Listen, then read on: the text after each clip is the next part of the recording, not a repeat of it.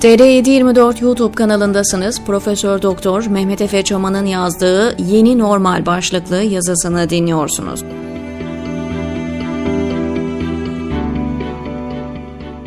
Normal şartlarda bir ülkede politik ve ekonomik anlamda genel durum hakkında bilgi almanın yolları vardır.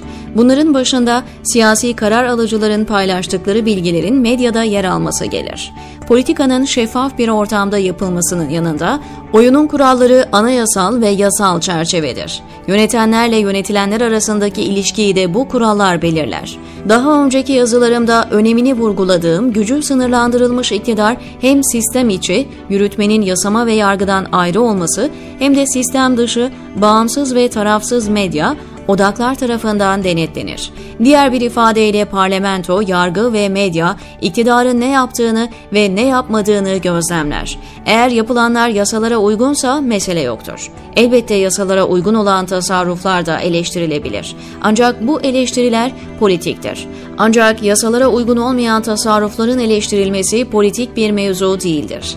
Bu nedenle partiler üstü olarak ele alınır. Eğer bir yürütme unsuru, Cumhurbaşkanı, kabine, bakan vesaire, anayasa ve yasa dışına çıkarsa bu bahsettiğim denetlemeye takılır ve anayasal yasal sonuçlarına katlanır. Yukarıdaki kritik ibare normal şartlarda. Türkiye'de uzunca zamandır normal şartlar hüküm sürmüyor. Bu nedenle Türkiye'de ne olup bittiğini de ne olacağını da bilemiyoruz. Ülkede oyunun kuralları dışına çıkılalı çok uzun zaman oldu. Gezi Parkı olayları sonrasında başlayan demokrasi erozyonu 17 Aralık soruşturmalarından sonra bir sivil darbeyle mevcut sistemi tümüyle sonlandırdı. Birinci aşamada yargı kontrol altına alındı ki sivil darbe dememin nedeni de bu çünkü yargının konumu yürütmeden bağımsız olmasını gerektiriyor. Neye göre? Elbette 1982 Anayasasına göre. İşte buna müdahale ettiler. Yürütme 17 Aralık soruşturmasından hemen sonra işlemekte olan polisiye ve yargısal sürece müdahale ederek süreci akamete uğrattı. İkinci aşamada Erdoğan hükümeti güdümüne girmeyen medya bertaraf edildi. Burada amaç açıktı elbette. Yukarıda özetlediğim durum hakkında okuru, izleyiciyi bilgilendiren gazeteler ve televizyonlar anayasa ve yasalar hiçe sayılarak kapatıldı. Zamana ve zaman grubuna Samanyolu Televizyonu vesaire nasıl müdahale edildiğini hatırlayalım. İşte yukarıda bahsedilen normal şartların ortadan kalkması böyle oldu. Burada kritik mesele muhalefetin tutumuydu. Muhalefet bu olan bitenleri bir iktidar mücadelesi perspektifinden okudu, ona göre hareket etti. 17 Aralık'ta önce Erdoğan ve hükümetini Yüce Divan'a çıkartma olasılığı ağızlarının sulanmasına neden oldu. Fakat sonradan Erdoğan Gülen cemaatini kurban seçerek üzerine gidince başlangıçtaki sert tutumlarını yumuşatıverdiler. Gülen cemaatinin ortadan kaldırılma süreci onları daha çok memnun etmişti. Bir başka önemli nokta da daha önce 2002'den itibaren üzerine gidilen vesayet sisteminin bazı uç aparatlarıyla Erdoğan arasında yapılan anlaşmadır. Başlarda Ergenekon'un savcısı olan Erdoğan, 17 Aralık sonrasında çark ederek milli orduya kumpas çizgisine geldi ve derhal Ergenekon, Balyoz, Sarı Kız, Ay askeri casusluk gibi davalarda yargılanan ve ceza alan askerler ve bürokratlar apar topar içeriden çıkartıldılar. Çoğu TSK'da kilit göreve atandı. Erdoğan bu anlaşma gereği Ergenekon sürecini askerin vesayette etkin olmasını savunan ve darbeleri, muhtıraları, vesayet sistemini savunan üst seviyedeki askeri ve sivil bürokratların yargılanmasını ve bürokrasi dışı çıkartılmasını bir cemaat operasyonu olarak nitelendirdi. Böylece 15 Temmuz 2016'nın temelleri atıldı. Hatırlıyor musunuz bilmem. 17 Aralık esnasında internete düşen tapelerden birinde Hakan Fidan'ın Suriye sınırının Suriye tarafından Türk topraklarına atılacak birkaç roket türü siyasi olağanüstü uygulamalara gerekçe üretme taktiği vardı. O toplantıda olanların üzerine Ergenekon sürecinde stratejik harp oyunu senaryosu olarak planlandığı söylenen cinlikler ve hinlikleri ekleyin. Bu doneler normal şartların olmadığı bir devlet aklının nasıl işlediği konusunda önemli ipuçları veriyor. Tüm bu olanlara karşın muhalefet kalkıp yahu siz ne yaptığınızı sanıyorsunuz? Bu ülkede bir anayasa var, yasalar var, yönetmelik var. Siz bu devletin temelini dinamitleyerek suç işlemektesiniz. Derhal bu sevdadan vazgeçin demedi. Arkalarına yaslandılar, patlamış mısırlarını yiyerek AKP cemaat savaşını keyifle izlemeye koyuldular. Oysa ortada çok ciddi sorunlar vardı. 17 Aralık hangi amaçla gerçekleşmiş olursa olsun sonuç değişmiyor ki. Olan çok basit aslında. Yolsuzluğa ve suça karışmış bir iktidar var. İşledikleri suçla alakalı gayet somut kanıtlar ortaya çıkıyor. Dünyanın neresinde olursa olsun iktidarı düşürecek boyutta bir skandal patlıyor. İktidar kalkıp biz bu suçlara bulaşmadık demiyor. Sadece suçların etrafa saçılmasını ulusal güvenlik meselesi olarak niteliyor. Tıpkı Can Dündar'ın yayınladığı MİT tırları haberi gibi. Böylece zımnen yaptıklarını kabul ediyor. Diyor ki bu yapılanlar bir darbe girişimidir akla ziyan bir savunma.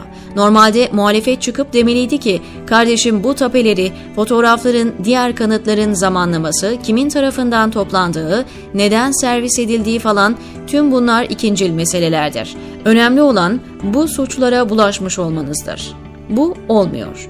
İşte kırılma noktası tam da bu. Çünkü bu olsa normal şartlar anayasal rejim devam edecekti. Bu olmayınca Erdoğan ve AKP yeni ortaklarıyla beraber zaten fiilen darbe vurdukları anayasal rejimi daha da kökünden ortadan kaldırmak için operasyonu başlatıyor.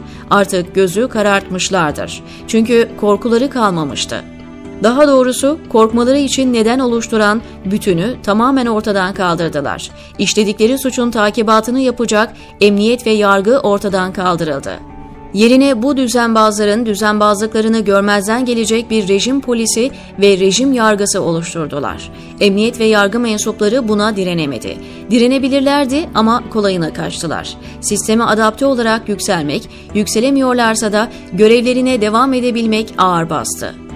Zaten arkalarında onlara destek verecek bir yasama organı veya medyada kalmamıştı. Hepsinden önemlisi toplumun çok büyük bir bölümü iktidarın işledikleri büyük suçları normal addediyor, onları suç olarak görmüyordu. Çünkü 1. Değerler evreninde İslamcı muhafazakar bir taban, dini sadece fiziksel ibadete indirgeyen bir gelenekten gelmekteydiler. 2. Büyük bir menfaat ağıyla iktidara bağlanmışlardı. 3. Güce tapıyorlardı ve 4. Etik bir tutum alan bir güçlü muhalefet yoktu. Yani topluma doğruyu ve olması gerekeni söyleyecek bir muhalefet pusulası mevcut değildi. Böylece oyunun kuralları sona erdi ve perde 15 Temmuz. Kitlesel tutuklamalar, komedi yargı süreçleri, kamuda yapılan temizleme operasyonu, derin devletin artık kendisini iyice belli ettiği bir TSK operasyonu. Elbette kişisel ve grupsal çıkarlar, menfaat ilişkileri, mafyalaştırılan bir bürokrasi, soyup soğana çevrilen bir devlet, tam takır hale getirilen bir hazine. Tüm bunlar bir gecede olmadı. Ağırdan, usulca hareket ettiler. Dinbazların sevdiği bir kaynar suya atılan kurbağa kıssası vardır ya, tam o taktikle kurbağayı ağırdan ısıtılan bir tencereye koydular. Su kaynadığında artık çok geç olmuştu. Böylece normal şartların olmaması yeni normal şartları oluşturdu. Muhalefet değişen rejime uydu. 15 Temmuz sonrası Yeni Kapı Mutabakatı bunu tescilledi. Cemaatin tanrılara kurban verilmesi ve onun üzerinden ikinci kutsaması yapılan Türkiye Devleti senaryosu muhalefetin hoşuna gitmişti. Sıra nasılsa kendilerine de gelecekti. Kimse iktidarı mezara götüremiyordu nasılsa. Böylece KHK'lılar, Meriç'te ve Ege'de ölenler, pasaportları iptal edilen milyonlar, hapishanede ağır kronik hastalıklara yakalanıp ölenlerin dramı, cadı avı ve Sipenaf aile boyu suç uygulaması, tüm nazilikler ve rezillikler tümünü sineye çektiler. Hiçbirini gündemlerine almadılar. Bu kurumsal muhalefetti. Peki ya bireyler? Herkes kendi mahallesinin dertleriyle ilgilendi.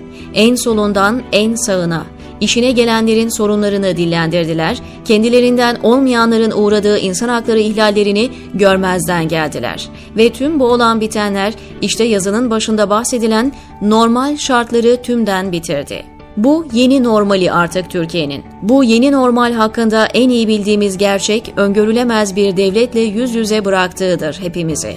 Bu anormalliklerin yeni normal olmasının nedeni herkesin onlara alışması, onu kanıksaması, o anormalliklerin kurumsallaşmış olması. İleride bugünkü siyasi figürler gider, yerine yenileri gelirse bilin ki sistem içinden çıkacak onlarda. Bakın bugün hepsi aynı diskuru kullanmakta zaten. Yarın ne olur bilmiyoruz. Bir şeyi biliyoruz sadece. Bu kabus öyle bir gecede bitecek bir şey değil artık. Tıpkı kırılan bir bardak gibi. Kırmak bir saniye ama onarmak saatler veya günler alır. Ve yine de kırılmadan önceki bardağı elde edemezsiniz. Bugün o normal şartlar yok artık.